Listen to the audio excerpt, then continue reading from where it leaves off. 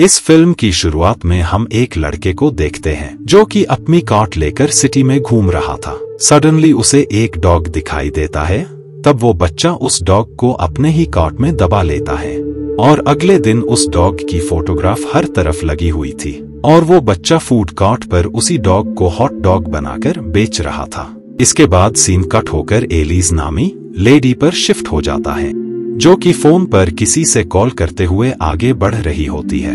इस दौरान वो किसी से फ़ोन पर कह रही थी कि उसे ये प्लेस बिल्कुल भी पसंद नहीं है और वो यहाँ पर नहीं रहना चाहती है। खैर, बातें खत्म करने के बाद एलिस घर पर आ जाती है, जहाँ पर वो अपने डैड के हाथ में एक रिमोट को देखती है। एलिस के डैड का मानना था कि इस रिमोट का यूज़ करते ही काफ़ी सारी चीज़ें बदलने लगेगी। मगर एलिस इन बातों पर बिल्कुल भी ध्यान नहीं देती है, क्योंकि उसे ये सारी बातें बकवाक ही लग रही होती हैं। मगर उसके डैड जैसे ही बटन प्रेस करते हैं, वैसे ही सारे लोग बदल जाते हैं। लेकिन उनकी पर्सनैलिटी में बिल्कुल भी चेंज नहीं आया होता है। और वो लोग ऐसा बिहेव कर रहे थे, जैसे वो सालों से ऐसे ही हो।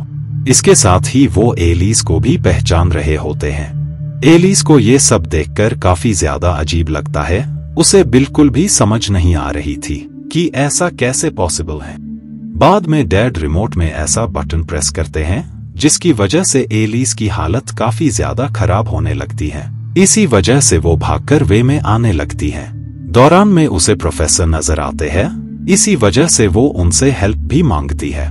मगर प्रोफेसर उसकी हेल्प करने की बजाय रिमोट की हेल्प से एलिस को ही रैबिट में तब्दील कर देते हैं।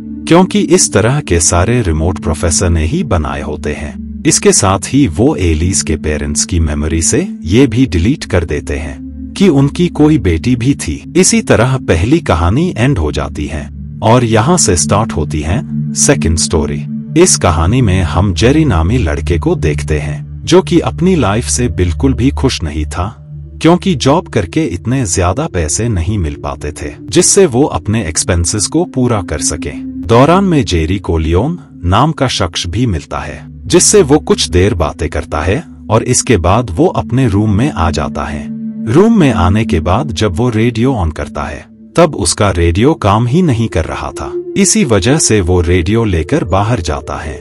तब उसकी नज़र एक शख्स के पास जाती है जो कि वे में बैठकर रिमोट रेडियो और काफ़ी सारी चीज़ें सेल कर रहा था। इसी वजह से जेरी भी काफ़ी सस्ते में उससे रेडियो परचेस कर लेता है। घर आकर जब वो रेडियो को ऑन करता है तब उसे उसमें से एक लेडी की आवाज़ें आने लगती हैं, जो कि उसे बता रही थी कि उसकी लाइफ में सारी प्रॉब्लम्स हैं और वो अपनी लाइफ से बिल्कुल भी खुश नहीं है लेकिन उसकी लाइफ में भी सारी खुशियाँ आ सकती हैं। अगर वो सिर्फ़ उसकी बात माने तो। तब ये सुनकर जेरी भी बातों में अग्री हो जाता है। रेडियो उसे रोज़मर्रा के काम में काफ़ी ज़्यादा हेल्प करती थी, जिस वजह से वो दोनों काफ़ी अच्छे फ्रेंड्स बन जाते हैं। एक दिन जेरी काफ़ी ज़्यादा परेशान होता है, क्योंकि उसे पैसों की सख्त ज़रूरत थी। तब रेडियो उसे बताती है कि टेंशन मत लो, पैसे उसे मिल जाएँगे। जिसके बाद रेडियो गाइड करता हुआ उसे एक रूम में ले जाता है। जहाँ पर वाकई ही काफ़ी ज़्यादा पैसा था। जेरी वो सारा पैसा लेकर रूम की तरफ़ जाने लगता है। तब दौरान में ही उसे एक कपल भी नोटिस कर लेता है। वो देखते हैं कि जेरी के पास काफ़ी ज़्यादा पैसा है। खैर, उनके जाने के बाद रेडियो उन्हें गाइड करता है कि उसे उन मार डालना चाहिए, क्योंकि उन लोगों ने पैसों से भरा हुआ बैग तुम्हारे हाथों में देख लिया है। इसी के चलते तुम बुरी तरह फंस सकते हो। मगर जेरी किसी को भी मारने के लिए रेडी नहीं था। तब कुछ देर बाद वो शख्स वापस से आकर जेरी से पैसे छीनने की कोशिश करता है। तब जेरी उस पर अटैक कर उसे और उसकी साथी को मार डालता है। नेक्स्ट डे रेडियो उससे कहता है कि उसे यहाँ से भाग जाना चाहिए, जिस वजह से जेरी पैसे लेकर निकलने वाला था। तब इतनी ही देर में एक लेडी भी वहाँ पर आ जाती है, जो कि जेरी को बताती है कि वो उसे भी अपने साथ ले चले। क्योंकि लियोन उसे मारने के लिए उसके पीछे पड़ा हुआ है, क्योंकि उसे लगता है कि उसी ने उसके पैसे स्टील किए हैं। इस वजह से मजबूरन जेरी को उसे साथ लेकर जाना पड़ता है। वे में रेडियो उसे बताता है कि उसे उस लेडी को मार डालना चाहिए, क्योंकि वो ही लेडी उसकी डेथ का रीजन बनेगी। तब रेडियो की बात सुनकर उसे काफ़ी ज़्यादा गुस्सा आता है, क्योंकि उसे लगता था कि रेडियो इसी तरह उससे मर्डर्स करवाकर उसे किलर बना देगा। इसी वजह से वो दौरान में रुककर रेडियो को तोड़ देता है, जिसके बाद वो लेडी भी मौका देखकर उसे गोली मार देती है, क्योंकि पैसों को देखकर उसके अंदर ग्रीड आ गई थी। और उसे लगता था कि इस पैसे पर सिर्फ़ इसी का ही कब्जा हो। मगर जैसे ही वो पैसे की तरह बढ़ती है, वैसे ही लियोन उसे मार देता है, क्योंकि वो सारे पैसे लियोन के थे, और इसके साथ ही हम लियोन के पास भी सेम उसी तरह का रेडियो देख पाते हैं। जैसा रेडियो जेरी के पास था। इसी तरह ये कहानी भी खत्म होती है। और अब बारी थी थर्ड कहानी की। इस कहानी में हम रेचल नामी लेडी को देखते हैं, जो कि कॉल गर्ल है। रेचल को एक शख्स की कॉल आती है, जिस वजह से वो उसके घर पर जाने लगती है। दौरान में हम लियोन को भी नोटिस करते हैं। खैर, बाद में वो उस लड़के के घर पर पहुँच जाती हैं, और जब वो उसके काफ़ी ज़्यादा क्लोज आ जाती हैं, तब वो उसे स्टैप करके मार डालती हैं। जिसके बाद जब वो बाथ लेकर वापस आती है, तब उसे डेड बॉडी के पास से हलचल महसूस होने लगती है। इसी वजह से जब वो पिलो रिमूव करती हैं, तब वो काफ़ी ज़्यादा शॉक हो जाती हैं, क्योंकि वो शख्स अलाइव था, जो कि उस लेडी पर अटैक कर उसे मार डालता है। क्योंकि वो कोई आम ह्यूमन नहीं, बल्कि एक वैम्पायर था। इसी के साथ ये कहानी भी एंड होती है, और अब बारी थी नेक्स्ट कहानी की। इस कहानी में हमें दिखाया जाता है कि प्रोफेसर मैरिज कर रहा है। इसी के चलते नाइट में उसके स्टूडेंट्स मिलने आते हैं। अब क्योंकि प्रोफेसर काफ़ी ज़्यादा मजाकिया थे।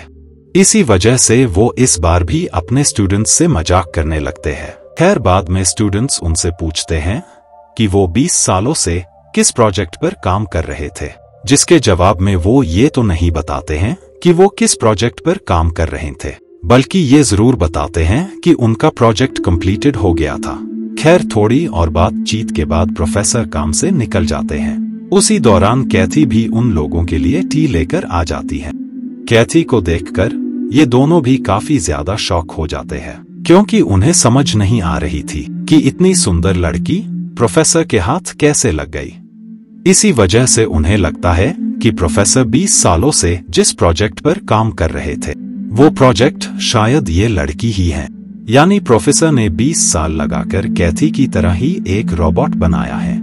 इसी वजह से वो उस रोबोट को ओपन करके प्रोफेसर को ये सरप्राइज़ देना चाहते थे कि वो कितने ज़्यादा इंटेलिजेंट है। इसी के चलते वो कैथी की पूरी बॉडी ही ओपन कर देते हैं। प्रोफेसर जब ये देखता है, तब वो काफ़ी ज़्यादा शॉक हो जाता है। बिल्कुल उनके प्लान के मुताबिक, लेकिन उसके फेस पर खुशी नहीं, बल्कि गुस्सा था। क्योंकि इन दोनों ने अपनी स्मार्टनेस के चलते एक ज़िंदा इंसान को ही रोबोट समझकर उसे मार डाला था। इस तरह ये कहानी भी खत्म हो जाती है, जिसके बाद नेक्स्ट कहानी स्टार्ट होती है। इस कहानी में हम एक डॉक्टर को देखते हैं, जो कि हॉट डॉग लेने उसी शॉप पर जाता है। मगर जैसे ही वो उसे खाने वाला था, वैसे ही वो हॉट डॉग गिर जाता है। इसी वजह से वो उस हॉट डॉग को एक बैगर को देता है।